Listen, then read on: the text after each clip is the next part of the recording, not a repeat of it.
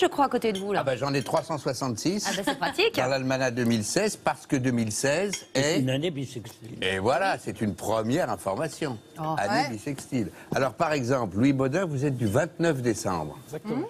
Donc, le 29 décembre, euh, vous avez intérêt à bien cuisiner parce que le chef Coff vous a prévu un foie de veau euh, à la vénitienne, des pâtes au beurre et au dessert salade d'orange. Ça vous va? Ah, bah, Ah oui, ça va, pâte au beurre, je sais à peu près faire. Ouais. Et salade d'orange, oui. Ouais. Pas de veau euh, Euh, vénitienne. pas de veau, euh, C'est simple Bien comme bon. tout. avec jours avant le- le réveillon. Pas euh, compliqué. tout ça. pas compliqué. Non, mais tout est prévu dans, dans- dans son almanach, c'est vachement bien parce que par exemple, le 29, faut déjà penser à ce qu'on va becter le 30. Donc il faut commencer à préparer pour le 30 une bûche au chocolat, Bûche au Ah oui. euh, voilà, avec crème anglaise. Bien sûr. Mais c'est presque à temps complet si on veut becter tout ce que vous proposez. Ah non, parce que je n'ai proposé que des dîners. Partant du principe qu'on est rarement à deux, euh, un couple dans une maison au moment du déjeuner. Donc je n'ai proposé que des déjeuners. Que des et des déjeuners et des dîners le samedi Voilà, et le dimanche. Et le dimanche avec des restes. C'est-à-dire les restes, tout ce qui traîne, on essaie de faire un, un repas le dimanche sympa, euh, parce qu'on a fait un gros déjeuner, souvent de famille, et puis j'ai prévu des, des déjeuners de copains. On les prévient 15 jours à l'avance en disant euh, on va appeler ces huit copains, on va faire une choucroute, on va faire un cassoulet, on va faire quelque chose qui ne demande pas une entrée, qui ne demande pas de fromage, ni de salade, ni rien. On pose le plat sur la table, on se régale. C'est moi, j'ai essayé de faire, euh, eu- le mot est peut-être pas exact, une ode à la simplicité. Ce que j'ai voulu, c'est que vie. on se simplifie la vie pour pouvoir consacrer du temps au plaisir. Et on reste Plaisir ensemble à d'être table. dehors, d'aller faire le marché, d'être- d'être juste heureux, quoi, de pas s'emmerder dans la cuisine. En plus, vous avez un autre truc par rapport à toute cette connexion avec la vraie vie que vous nous proposez de mieux organiser sur le plan culinaire. Il y a aussi les petites histoires de la grande histoire Oui. Euh, et l'influence euh, qu'a pu avoir la gastronomie Ben- dans l'histoire. Oui, je pense que c'était amusant pour qui s'intéresse à la gastronomie de dire c'était le jour.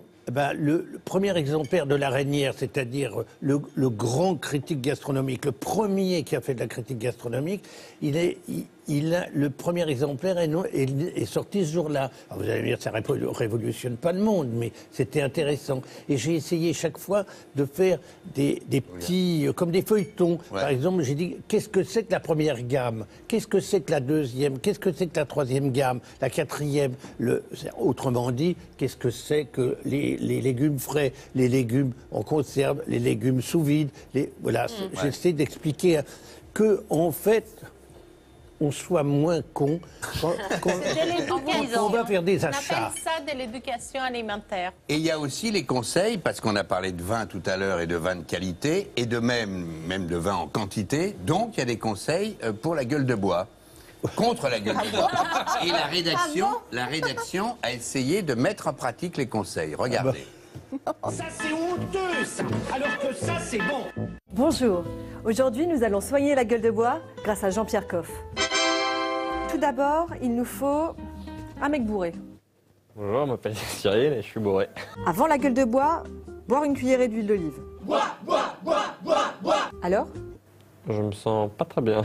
Si ça ne marche pas, boire un cocktail d'aspirine, de sorbitol et de vitamine C.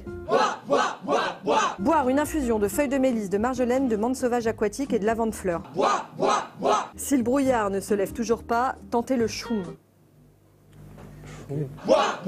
Alors Toujours euh, bourré.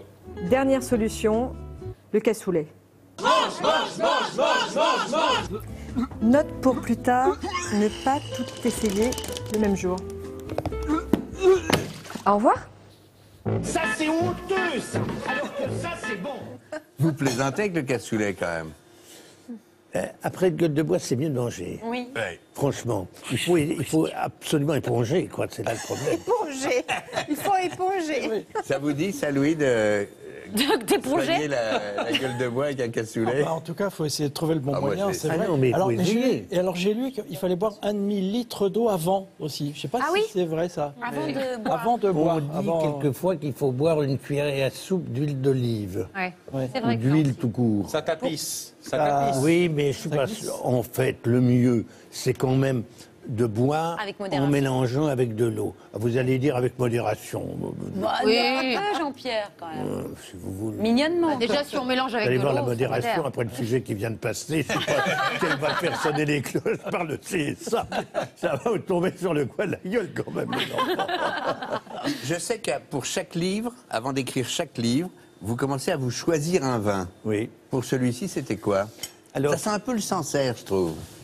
Ah ben, c'est pas loin. C'est pas loin, c'est un coteau Vendemois. On n'est pas très très loin. Ah bah oui. C'est un voisin qui fait un vin bio qui est formidable. Et, euh, et on s'est tapé ça. euh, ben, ça a été ça matin, midi et soir, il faut bien le dire. Ah oui.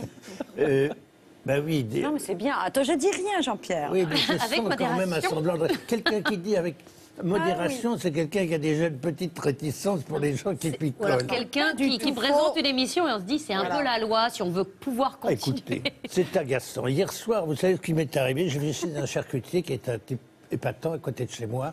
Il me dit Tu viens à la maison? On va boire un coup.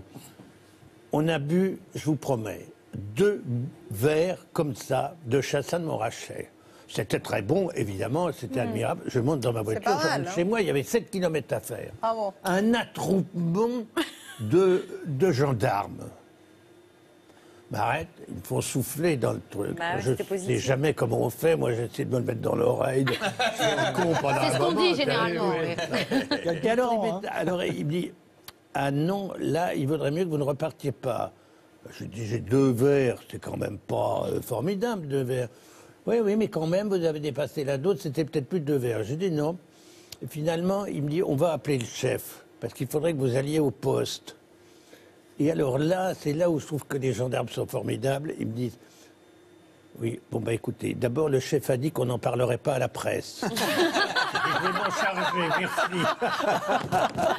C'est Et dingue. après, il me dit Mais il faut quand même que vous fassiez raccompagner chez vous. Je dis Bon, je vais téléphoner. Et puis après, il me dit Vous savez, c'est parce que vous vous appelez Coff que c'est comme ça. hein. Bah. Non, vous auriez dormi. Donc ça veut euh, dire que Coff peut être bourré, mais les autres pas. c'est une forme d'injustice. Bon. Vous l'avez, vous l'avez évoqué, Jean-Pierre, vous avez eu, avant d'être un- une star de la télé et de la Oh, cuisine, euh, vous avez eu plein de restaurants. Oui. Euh, J'en ai fréquenté pas mal. Oui. Et mais j'étais franchement le petit pousset parce que c'est incroyable le nombre de, de gens euh, stars eux-mêmes venus du monde entier qui ont fréquenté le. On, on a une, euh, on a toute une galerie de portraits. euh, de gens qui sont venus chez vous. Mais Lorraine Bacal, quand elle est rentrée dans le restaurant, toute la salle se levait, non? Là, oui, le, se levait. Elle est venue avec Jean-Pierre Cassel. Les gens se sont levés, applaudissaient. C'était formidable. Il y avait ça aussi avec euh, Orson Welles. Quand M. Welles rentrait, c'était ça. Hein, J'ai eu deux personnages. Vous savez, c'était rigolo ma, ma vie au restaurant parce que les gens disaient qu'il y avait des gens qui étaient connus chez moi. Et rentrent quatre personnes qui, eux, l'étaient pas du tout alors. Et en partant, ils me disent Mais il n'y a personne de connu chez vous, qu'est-ce qu'on raconte? Je dis Écoutez, ne me parlez pas de ça, c'est affreux. À côté de vous, il y avait M. Graham Greene et Joseph Lozet. Ils m'ont dit Mais qui sont ces gens? À côté de nous On ne les connaît pas.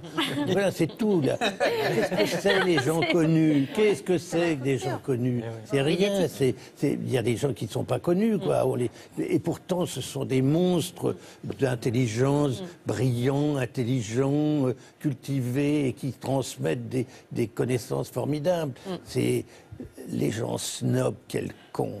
faut aller, faut aller relire euh, l'autobiographie de, de Oui. Jean-Pierre. Vous verrez toutes ces histoires de restaurants et plein d'autres. Et puis l'almanach. Oui, je suis très content de ça. Ça- ça- c'est un vrai travail. C'est un travail qui rend meilleur, ça. parce C'est très travail- utile et agréable. pour les autres. C'est utile et agréable. Merci.